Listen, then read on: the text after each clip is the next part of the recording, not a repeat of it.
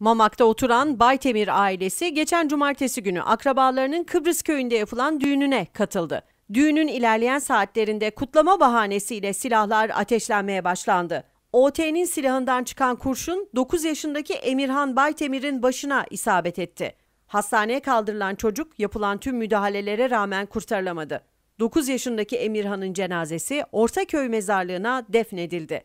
Emirhan'ın canına mal olan kurşunu ateşleyen OT çıkarıldığı mahkemece tutuklanarak Sincan Kapalı Ceza İnfaz Kurumu'na teslim edildi. Jandarma tarafından yapılan açıklamada silahın ruhsatsız olduğu belirtildi.